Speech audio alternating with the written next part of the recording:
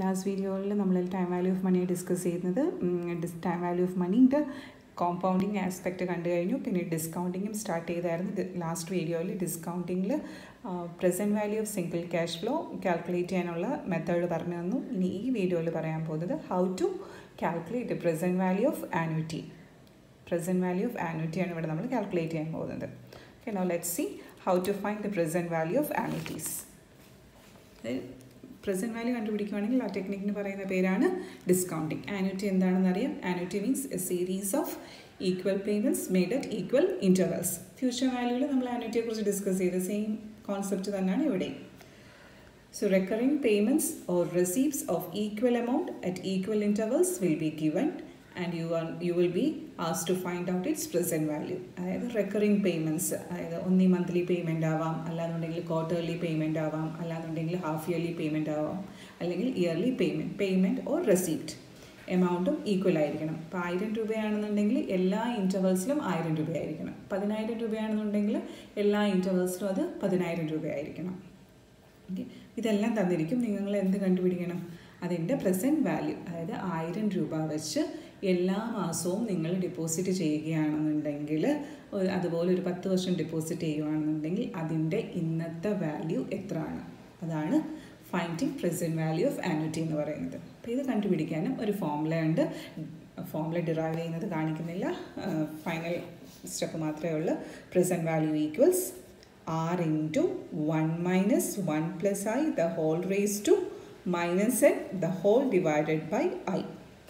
അപ്പോൾ ഇതാണ് present value of annuity calculate ചെയ്തെടുക്കാനുള്ള formula ഇനി ഇതിലെ ഓരോ വേരിയബിൾസും എന്താണെന്ന് നമുക്ക് നോക്കാം.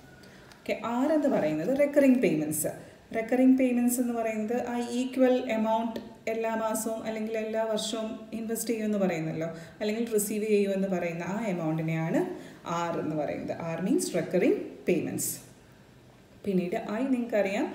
ഐ എന്ന് പറയുന്ന interest rate per compounding period ഇവിടെ കോമ്പൗണ്ടിങ് പീരീഡ് ശ്രദ്ധിച്ചോണം. ഇയർലി ആണെങ്കിൽ ഓക്കെയാണ് പ്രശ്നമില്ല. മന്ത്ലിയോ ക്വാർട്ടർലിയോ ഹാഫ് ഇയർലിയോ ഒക്കെ ആണോ നോക്കിയിട്ട് വേണം ചെയ്യാൻ.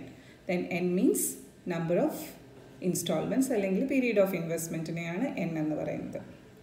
ഓക്കെ ഇനി ഒരു എക്സാമ്പിൾ നോക്കാം. എങ്ങനെയാണ് present value of annuity കണ്ടുപിടിക്കുന്നതെന്ന്. How much do you need to invest now now means ഇപ്പോഴും. That means present how much do you need to invest now? at 4.8% per annum to provide regular payments of rupees 500 per year for the next four years. അതായത് അടുത്ത നാല് വർഷം നിങ്ങൾക്ക് ഓരോ വർഷവും അഞ്ഞൂറ് രൂപ വെച്ച് കിട്ടണം കിട്ടണം എന്നുണ്ടെങ്കിൽ ഇപ്പം നിങ്ങൾ എത്ര രൂപ ഇൻവെസ്റ്റ് ചെയ്യും പ്രസന്റ് വാല്യൂ ആണ് കണ്ടുപിടിക്കേണ്ടത് അപ്പോൾ ആനുവിറ്റി ആണെന്ന് മനസ്സിലായല്ലോ കാരണം എല്ലാ വർഷവും എത്ര രൂപ വെച്ച് കിട്ടണം റിസീവ് ചെയ്യേണ്ടതായിട്ടുണ്ട് ഫൈവ് ഹൺഡ്രഡ് റുപ്പീസ് നിങ്ങൾക്ക് റിസീവ് ചെയ്യണമെന്നുണ്ടെങ്കിൽ നിങ്ങളിപ്പോൾ എത്ര രൂപ ഇൻവെസ്റ്റ് ചെയ്യണം. ഇതാണ് question so you are as to find present value present value ആണ് കണ്ടുപിടിക്കാൻ പറഞ്ഞെങ്കിൽ ഉടനെ നോക്കണം ഇത് present value of single cash flow ആണോ? അതോ പ്രസന്റ് വാല്യൂ ഓഫ് ആനുവിറ്റി ആണോ? ക്വസ്റ്റ്യൻ വായിച്ചപ്പോൾ മനസ്സിലായി ദിസ് ഇസ് ആനുവിറ്റി ആ റെക്കറിങ് പേയ്മെന്റിനെ കുറിച്ച് പറയുന്നതുകൊണ്ട് ഇത് പ്രസന്റ് വാല്യൂ ഓഫ് ആനുവിറ്റി ആണ്. പ്രസന്റ് വാല്യൂ ഓഫ് ആനുവിറ്റിയുടെ ഫോമുല എഴുതുക. ഫോമുലൈസ് ഇവിടെ discuss ചെയ്തായിരുന്നല്ലോ. R into one minus one plus I the whole raise to minus N divided by I ഇനി നോക്കാം ഇതിൽ ഓരോ വേരിയബിൾസിന്റെ വാല്യൂ എന്താണെന്ന്. Here R equals R recurring payments എല്ലാ വർഷവും അഞ്ഞൂറ് രൂപ വെച്ച്. So R is five hundred I is interest rate അല്ലെങ്കിൽ ഡിസ്കൗണ്ട് റേറ്റ് എന്ന് പറയും. It is four per four point eight percent per annum അപ്പോൾ ഇവിടെ മന്ത്ലി എന്നൊന്നും അല്ല പറയുന്നത് ഇയർലി തന്നെയാണ്. അപ്പോൾ four point eight percent means when we express it in decimal it will be zero point zero four eight അറിയാമല്ലോ എങ്ങനെ കിട്ടിയെന്ന് four point eight divided by hundred gives you zero point zero four eight then n equals 4 years. Then apply this figure. PV equals, that is present value equals 500 into 1 minus 1 plus 0.04, the whole raised to minus 4 divided by 0.048. പിന്നീട് ഒന്നുകൂടെ simplify ചെയ്തെടുക്കുമ്പോൾ നമുക്ക് കിട്ടും five hundred into one minus one point zero four eight the whole raise to minus four divided by zero point zero four eight പിന്നീട് ഇത് calculator use ചെയ്ത് brackets എല്ലാം കറക്റ്റിനിട്ട് answer കണ്ടുപിടിച്ചെടുക്കുക. Answer കണ്ടുപിടിക്കുമ്പോൾ നമുക്ക് കിട്ടുന്ന ഫിഗറാണ് one thousand seven hundred and eighty one point two five എന്ന് വെച്ചാൽ എന്താണ്? ഈ അഞ്ഞൂറ് രൂപ നിങ്ങൾക്ക് എല്ലാ വർഷവും ഇങ്ങനെ ഫോർ ഇയേഴ്സ് കിട്ടണം എന്നുണ്ടെങ്കിൽ now you should invest rupees one thousand seven hundred and eighty one point two five ഇന്ന് നിങ്ങൾ എത്ര രൂപ ഇൻവെസ്റ്റ് ചെയ്യണം? ആയിരത്തി എഴുന്നൂറ്റി എൺപത്തൊന്ന് പോയിന്റ് ഇരുപത്തഞ്ച് പൈസ ഇൻവെസ്റ്റ് ചെയ്യുകയാണെന്നുണ്ടെങ്കിൽ അടുത്ത നാല് വർഷം നിങ്ങൾക്ക് അഞ്ഞൂറ് രൂപ വെച്ച് ഇങ്ങനെ റെഗുലർ റെസീപ്റ്റ് കിട്ടിക്കൊണ്ടേയിരിക്കും. അപ്പം എങ്ങനെയാണ് പ്രസന്റ് വാല്യൂ കണ്ടുപിടിക്കുന്നതെന്ന് മനസ്സിലായെന്ന് തോന്നുന്നു. ഇനി രണ്ട് മൂന്ന് പ്രോബ്ലംസ് അടുത്ത വീഡിയോയിലൊന്ന് discuss ചെയ്യാമേ.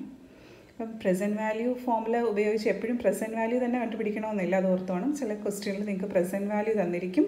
U may be as to find the R R means annuity payment എത്ര ആണെന്ന് അല്ലെങ്കിൽ പ്രസന്റ് വാല്യൂവും ആറും എന്നും എല്ലാം തന്നിരിക്കും. നിങ്ങൾ ഐ കണ്ടുപിടിക്കേണ്ടി വരും. ചിലപ്പോൾ എൻ കണ്ടുപിടിക്കേണ്ടി വരും. ഏതെങ്കിലും ഒരു വേരിയബിൾ മിസ്സിംഗ് ആണെന്നുണ്ടെങ്കിൽ ബാക്കി എല്ലാ വേരിയബിൾസും തന്നിരിക്കും. ഓർത്ത് വെക്കേണ്ട കാര്യം എന്ന് വെച്ചാൽ എല്ലാ ക്വസ്റ്റ്യനിലും നിങ്ങളോട് പ്രസന്റ് വാല്യൂ തന്നെ കാൽക്കുലേറ്റ് ചെയ്യാൻ പറയണമെന്നില്ല. പ്രസന്റ് വാല്യൂ തന്നിട്ട് ഇതിൽ ഏതെങ്കിലും ഒരു ഫിഗർ ഇത് R or I or N can also be use to calculate നിങ്ങളോട് വേറെ ഏതെങ്കിലും ഒരു വേരിയബിൾ കാൽക്കുലേറ്റ് ചെയ്യാനും പറയാം. അപ്പോൾ ക്വസ്റ്റ്യൻ നല്ല വായിച്ച് മനസ്സിലാക്കിയിട്ട് വേണം സോൾവ് ചെയ്യാനായിട്ട്. ഓക്കെ ഇനി അടുത്ത വീഡിയോസിൽ രണ്ട് മൂന്ന് എക്സാമ്പിൾസും കൂടെ വർക്കൗട്ട് ചെയ്ത് കാണിക്കുന്നതായിരിക്കും. ഓക്കെ